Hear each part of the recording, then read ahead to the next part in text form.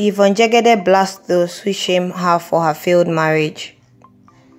Nigerian actress Yvonne Jegede has sounded a firm warning to those who try to shame her over her failed marriage.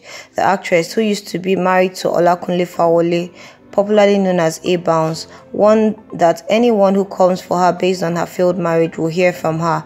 She stated that she is not the type of woman anyone can intimidate. She added, It is my failed marriage, not yours. If it hurts you that bad, please go and marry him and give him the happiness you so wish for him.